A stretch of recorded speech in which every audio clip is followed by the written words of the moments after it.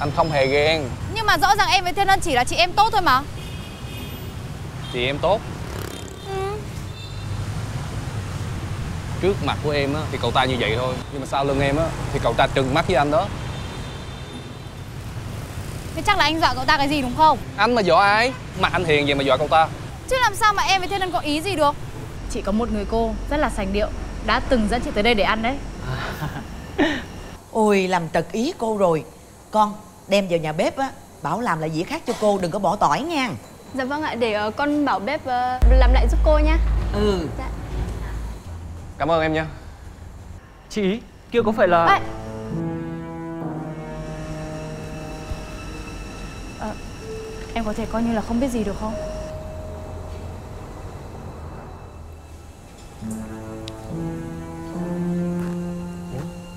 Ai giống ý vậy ta? Ờ đúng rồi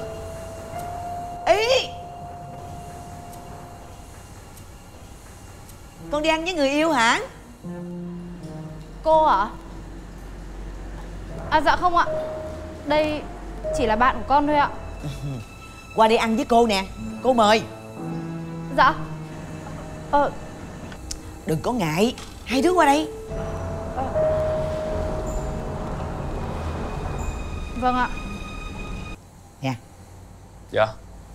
Sao tự nhiên mặt mày chầm chầm vậy?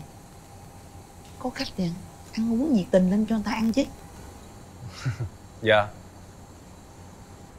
Nè Ăn cái này đi cho bổ nha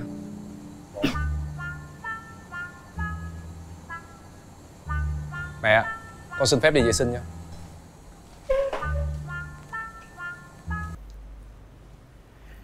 Hóa ra hai người yêu nhau bí mật à? Chắc là ăn trước mặt mẹ anh Anh ngại lắm nhở? Con nói như vậy là ý gì? Đang hăm dọa tôi hả? Đâu có đâu Sao anh lại nghĩ em như thế?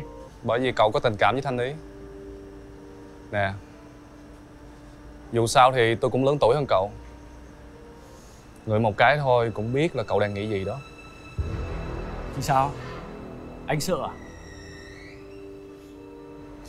Đúng là người non háo đá Nhưng mà tôi khuyên cậu nên từ bỏ đi Thanh Ý không có tình cảm với cậu đâu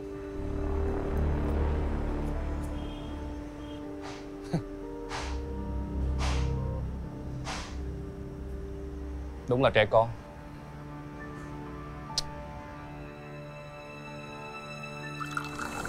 Con cảm ơn cô. Ừ. Hôm nay đã mời bọn con bữa ăn này ạ. Có gì đâu con chuyện nhỏ mà. Hôm nay con rất vui vì được gặp cô và anh ờ, Bách đây ạ. Hy vọng là con sẽ được gặp mọi người nhiều hơn.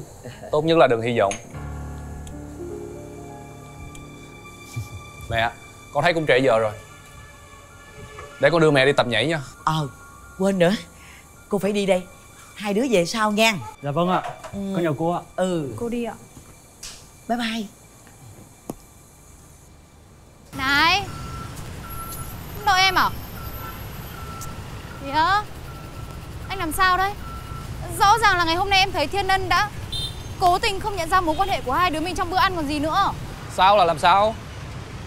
Anh hơi thất vọng về em rồi đó Vì muốn thanh minh cho cậu ta nên em chạy tới đây. Bất chấp việc có thể lộ chuyện của hai đứa mình hả?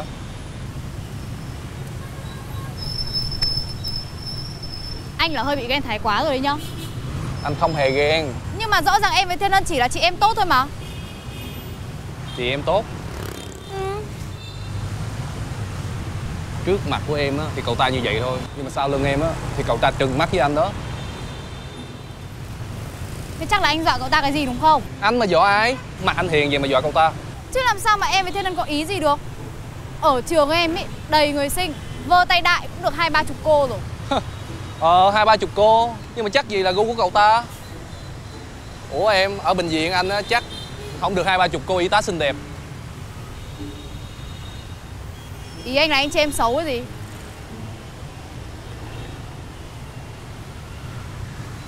Anh có nói như vậy đâu. Nè Anh chỉ đang muốn giải thích cho em hiểu thôi. Nhưng mà tại sao em cứ tin cậu ta hơn là anh vậy? Anh là người yêu của em mà. Anh đừng có như thế nữa đi. Có mỗi cái chuyện còn con mà anh cứ phải làm mình cãi nhau thế này nhở? Người yêu của anh còn rất là ngây thơ và hồn nhiên.